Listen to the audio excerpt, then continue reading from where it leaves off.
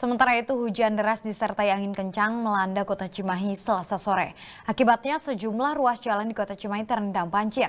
Ketinggian air banjir Cilencang mencapai 30 hingga 40 cm, membuat kendaraan roda 2 mogok. Bahkan banjir yang disebabkan buruknya saluran drainase menyebabkan arus lalu lintas macet panjang.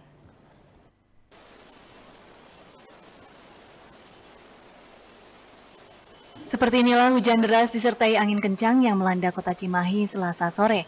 Akibatnya sejumlah ruas jalan di Cimahi terendam banjir. Seperti di Jalan Cimindi, kota Cimahi. Genangan air banjir yang mencapai 40 cm mengganggu arus lalu lintas dari Cimahi menuju kota Bandung. Bahkan sejumlah kendaraan roda dua yang nekat menerobos banjir mengalami mati mesin.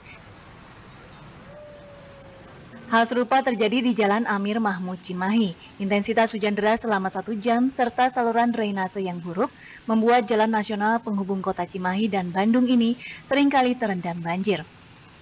Mogok, ini mah udah sering. Hmm. Ya hujan bisa pakai gini terus. Baik. Ya harapannya ya jalanannya tuh diperbaiki lagi. Terbesar lah gitu. Warga berharap pemerintah kota Cimahi segera memperbaiki saluran drainase yang buruk serta memperlebar selokan agar banjir di kota Cimahi tidak mengganggu arus lalu lintas serta aktivitas warga. Algi Muhammad Gifari, Bandung TV.